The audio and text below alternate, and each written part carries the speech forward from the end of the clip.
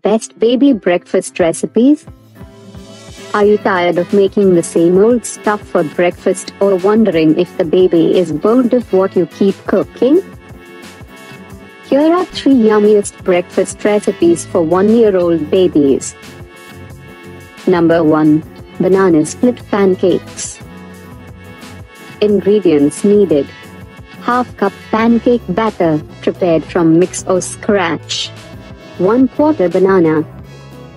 1 third cup frozen dark cherries or blueberries. 1 third cup plain yogurt.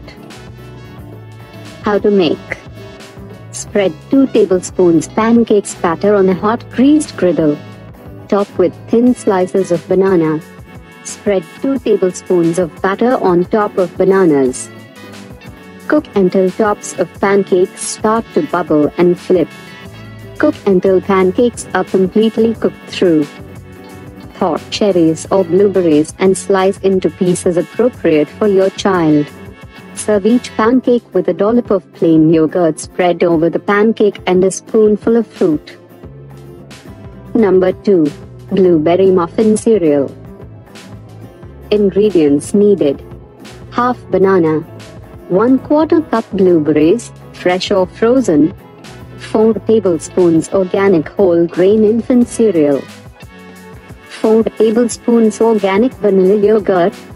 1 teaspoon local honey.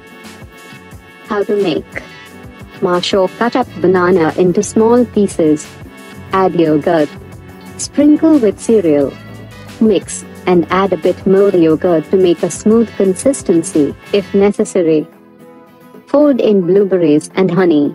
Use honey only for babies older than 1 and after talking to your doctor as they could contain spores deadly to babies' weak immune systems. Number 3. Multi-vegetable puree. Ingredients needed. Potatoes, peas, carrots, any vegetables you choose. Water. How to make. Choose the vegetables. Dice the vegetables. Boil the vegetables in a pressure cooker till tender. Put the vegetables and stock in a blender. Add the water as required. Blend to a smooth puree.